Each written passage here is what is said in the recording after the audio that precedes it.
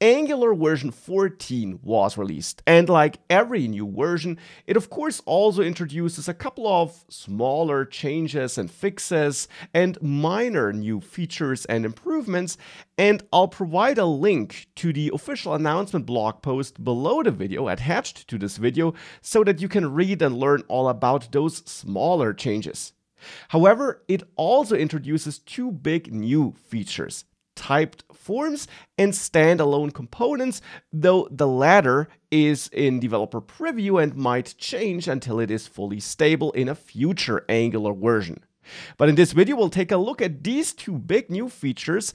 I'll let you know what this means for Angular and your apps, and I'll also let you know what this means for my Angular course in case you're taking that.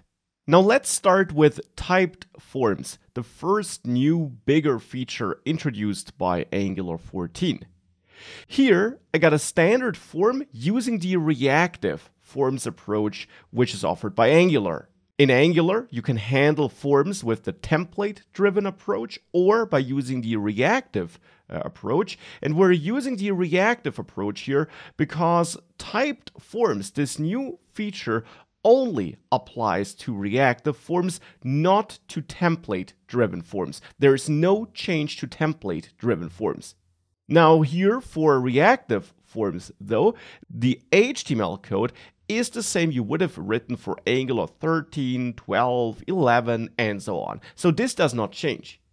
If you have a look at the TypeScript code for this component, the code also doesn't really change that much. I'm creating a form group here with an email and a H form control, and I'm connecting this form group and then the individual controls to my HTML elements. That's what I'm doing here. However, we'll see a difference if we then try to work with our form group here in the TypeScript code. For example, upon form submission, we might want to log or send the uh, individual form controlled values to a server or to the console here in this case. Therefore, we can access this form group, and what you'll notice now is that if I try to access the values of this form with the value property on the form form group, if I add another dot, I'm getting auto completion here, which basically tells me that I only have the age and email value here. Now, prior to version 14, we would have not gotten any auto completion here because Angular didn't know that this form group only has these two form controls because form group was basically of type any before, so it didn't know what was inside of it. This changed now. So therefore, if I, for example, try to access a password control here, I get an error in my code because now Angular knows that such a form control does not exist in this form group, and I have to add it first or fix my error in another way. But it's not just the existence of form controls which is now known to Angular. It's also the type of value that can be entered into a form control. For example, here I could try to uh, output age and I might want to add plus one to it. Now, if I do this, then I'm actually getting an error here because this could be null or undefined. And whilst technically in JavaScript we could of course add one to null or undefined, we might get unexpected results if we try to do that. We can of course let Angular know that this will never be null by adding an exclamation mark, but again we now have to be a bit more explicit and we can avoid unintended errors where we accidentally might operate on a null value. And of course here adding the exclamation mark would actually not be a great solution because we don't know if this is null or not. But it's not just the null check which we now might need to add to our code to avoid accidental work on null values. It's also more than that. Because now we don't just know whether a control exists or not, and whether it's maybe null or not, and we have to add code to make sure that we're not operating on null values. We now also have extra information on the type of value we have when it's not null. For example, I might want to count my email characters for whatever reason. I want to know the length of characters entered in the email address. Therefore, I could add an exclamation mark to let TypeScript know that I know that this will never be null. The better solution, of course, probably would be to add some uh, guard here, though, where I check if this form email uh, is set, so if it's not null, and then I operate on it. But either way, I can make sure that I know that this won't be null, and then I could try to access length here to get the number of characters entered. But now I'm getting another error, because that's the last piece you should know about typed forms. It's not just about null values and the existence of form controls in form groups, it's also about the type of value that can be entered into a form control. And the way I'm initializing the form group here basically tells TypeScript that I have two controls in that form group, and they're both null initially, but I'm not passing any other information to TypeScript, and therefore TypeScript infers that they are always null, so that there can never be any other value inside of such a form control besides null. And this is uh, probably a bit too strict because, of course, I might want to initialize a form control to be null initially, to have no value initially, but eventually the user should be able to enter a value, and then, of course, that will not be a null value. To let TypeScript know which value might eventually end up in such a form control, form control is now a generic type where we can specify which values can end up in that form control. And here we could say that it's a string or null. Null initially, but once the user entered something, a string. For age, we could say that it's maybe a number or null. That would be possible here. We then, of course, want to make sure that the type is set to number here on our input field. And now with that, you see this error for the email went away because I'm telling TypeScript that if this is not null, if it's set to some value, it will be a string because that is what I'm clarifying here. And the idea behind typed forms is simply that you have more type safety in your TypeScript code, that you're not operating on any as much, because the problem with type any is that all your code looks fine whilst you're writing it, but your app could crash in certain scenarios when it's actually running, so at runtime, and you typically want to avoid that. So that's one new feature. Now, one important question, of course, is what does this mean for your existing apps? Well, if you're not using Angular's strict mode, then it actually doesn't have any impact because you have way less stricter type checks in that case anyways. If your Angular app was initialized using strict mode though, then you might need to update your code and add extra generic type annotations like this or extra type guards like this, where you make sure that you only operate on a value that could be null after checking whether it is null. If you don't have the time to update all your code like this right now, if you don't want to add all these extra annotations right now because it would mean a lot of work for you, you can also follow an alternative approach. And instead of form control, you could use the untyped form control and also the untyped form group. This basically gives you back those old form controls and old form groups which you had in Angular 13 and earlier, and all your code will then continue to work as it did before, and you see this error, for example, is gone. And if you're using the ng update command provided by the Angular CLI, it should actually make those replacements for you automatically. This allows you to then switch back to form group and form control and add those extra type annotations whenever you have the time for it.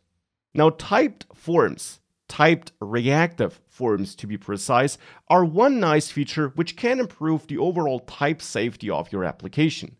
Another big new feature, especially for the future of Angular, are standalone components though standalone components is one of the most amazing features added to Angular in a long time because it has the potential of making writing Angular apps much simpler and easier than it is today. The idea behind standalone components is that you can get rid of ng modules. So, of these extra module files with all those uh, imports and with all the extra declarations you have to add there. Because at the moment, with Angular 13 and older, when you add a new component, you have to add it to declarations in an ng module. And if that component wants to use certain directives or pipes, you have to add the appropriate import to the imports array. If you want to use dependency injection, you have to add the services to providers and so on. Now, there is a reason why this was required in the past, but with Angular 14, we now get the developer preview of a new way of writing components. Components without ng modules, standalone components. Now, developer preview means that it might change, that it's not fully stable yet, and that's why you maybe don't want to switch to this feature entirely yet, but for the future of Angular, it might be a huge step forward and it might change the way we write Angular apps, making it much easier to write Angular apps. So, how are standalone components used then?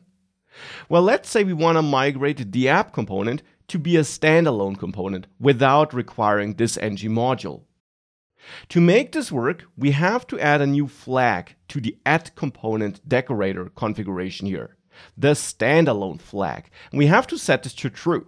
Now, I would imagine that maybe in the future this flag goes away or is changed again, but at the moment in this developer preview with Angular 14, we have to add the flag like this. After adding this flag here, we have to add all the imports and providers that are required by that component to this component. Now this component here doesn't need any providers, but it needs some imports because I am, for example, using forms in there. Therefore, I should add the reactive forms module as an import here. So the features exposed by that built-in module can now still be used in this component. If this component would be using a bunch of other components, those components would also be added to the imports array here.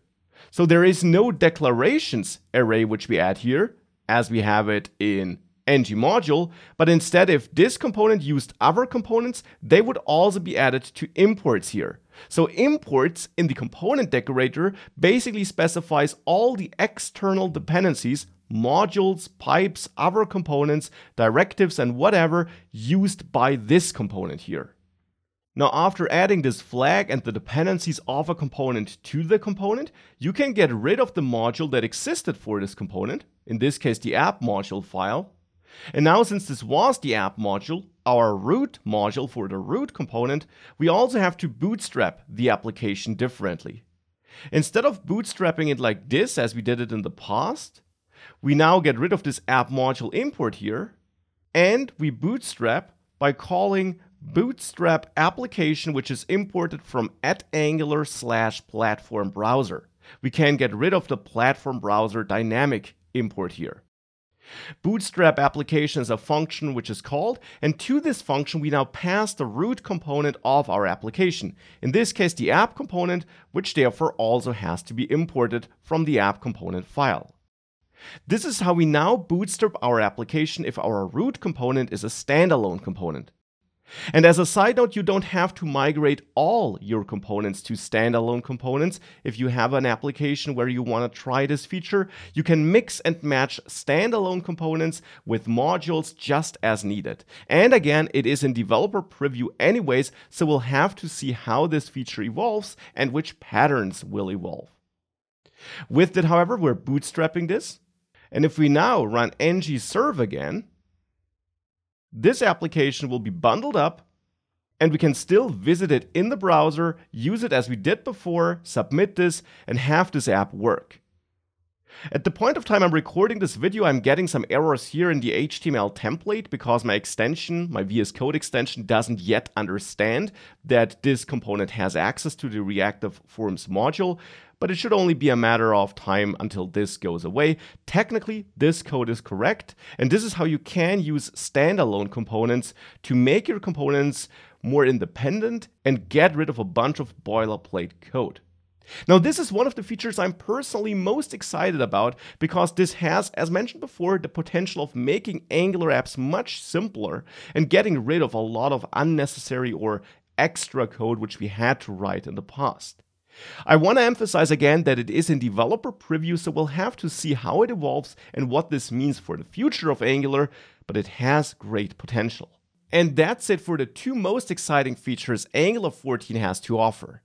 Typed forms can help us make our code safer and catch errors earlier. Migrating should be easy because you can go back to the old forms until you're ready, and you only have to add a bunch of type notations and fix some errors you might have in your code whilst migrating.